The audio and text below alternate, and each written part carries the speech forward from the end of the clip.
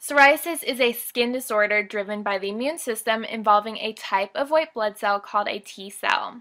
Normally, T cells help protect the body against infection and disease. In the case of psoriasis, T cells can become so active that they trigger other immune responses, which lead to inflammation and rapid turnover of skin cells. In many cases, there is a family history of psoriasis. Researchers have identified a large number of families affected by psoriasis and identified genes linked to the disease. Genes govern every bodily function, determining the traits passed from parent to child.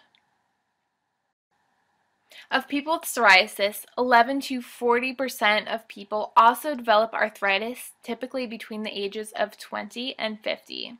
Called psoriatic arthritis, this condition causes joint stiffness in the morning along with inflammation and pain in the fingers and spine.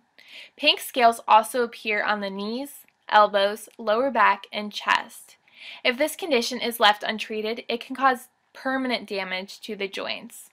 A recent study indicated that people with severe cases of psoriasis are more likely to develop other complications, including depression, obesity, cardiovascular disease, hypertension, diabetes, cancer, and immune-related conditions such as Crohn's disease. Getting rid of psoriasis involves much more than just applying some lotion or taking a pill. That's why doctors say there's no cure, meaning that they're unable to recommend a cream or a pill to cure the problem. But that doesn't mean there isn't a cure.